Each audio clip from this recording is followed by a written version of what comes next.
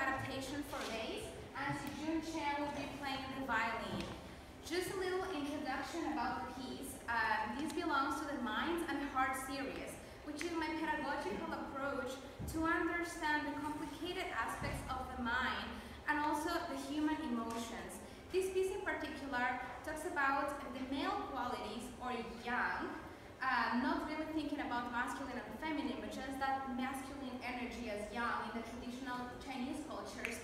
And the last movement, Moonlight, is the yin or feminine qualities. It's divided by the gravity, Jupiter, which in this case represents God, because in the tradition uh, we had Zeus, which evolved into Jupiter, which finally evolved into Jesus. So I got that idea and I presented the gravity of our solar system represented by Jupiter. Thank you, and I hope you enjoy the performance.